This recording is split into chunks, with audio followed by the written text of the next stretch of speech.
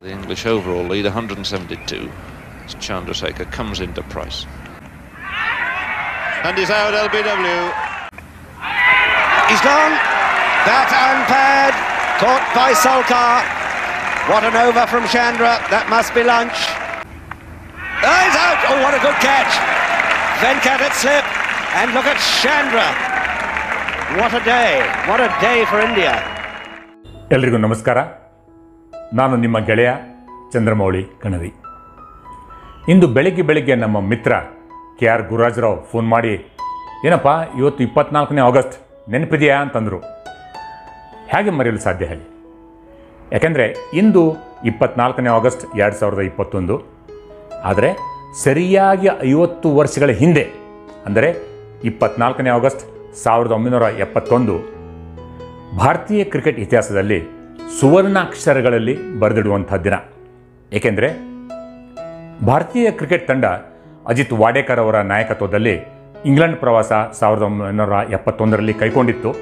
ಮೊದಲ ಎರಡು test Lord's ಹಾಗೂ ಲೀಡ್ಸ್ನಲ್ಲಿ ಡ್ರಾ ಆಗಿದ್ದವು. ಆದರೆ ಮೂರನೇ ಟೆಸ್ಟ್ ಓವಲ್ ಮೈದಾನದಲ್ಲಿ ನಡೆದಾಗ ಇದೇ ದಿನ, ಅಂದರೆ ಇಪ್ಪತ್ನಾಲ್ಕನೇ ಆಗಸ್ಟ್ ಸಾವಿರದ ಒಂಬೈನೂರ ಎಪ್ಪತ್ತೊಂದರಲ್ಲಿ ಅಮೋಘ ಜಯ ಸಾಧಿಸಿ ಇತಿಹಾಸ ನಿರ್ಮಿಸಿತು.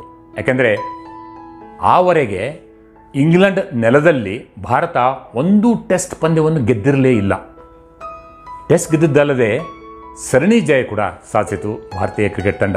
ಅದಕ್ಕೆ ಇದು ಅವಿಸ್ಮರಣೀಯ ದಿನ ಅಂತ ಹೇಳ್ಬೋದು.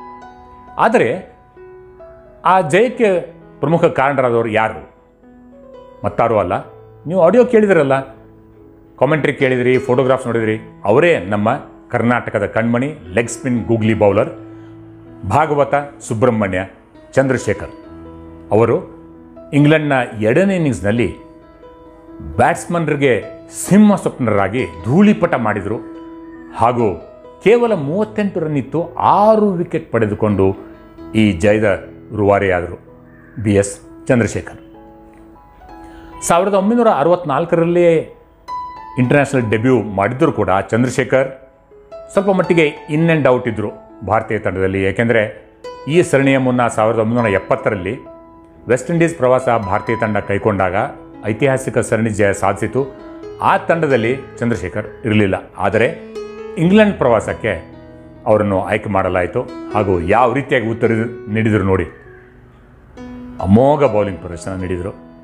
ಹಾಗೂ ಈ ಐತಿಹಾಸಿಕ ಜಯಕ್ಕೆ ಕಾರಣರಾದರು ನಮ್ಮ ಬಿ ಎಸ್ ಚಂದ್ರಶೇಖರ್. ಅಷ್ಟೇ ಅಲ್ಲ, ವಿಶೇಷವೆಂದರೆ ಇಪ್ಪತ್ನಾಲ್ಕನೇ ಆಗಸ್ಟ್ ಸಾವಿರದ ಒಂಬೈನೂರ ಎಪ್ಪತ್ತೊಂದರಂದು ವಿಶ್ವದಾದ್ಯಂತ ನಮ್ಮ ಭಾರತೀಯರೆಲ್ಲರೂ ಗಣೇಶ ಚತುರ್ಥಿಯನ್ನು ಆಚರಿಸ್ತಾ ಇದ್ದರು ಆ ಶುಭ ದಿನದಂದು ಭಾರತ ಇತಿಹಾಸ ನಿರ್ಮಿಸಿತು. ಇಂಟ್ರೆಸ್ಟಿಂಗ್ ಅಲ್ವಾ? ನಮಸ್ಕಾರ.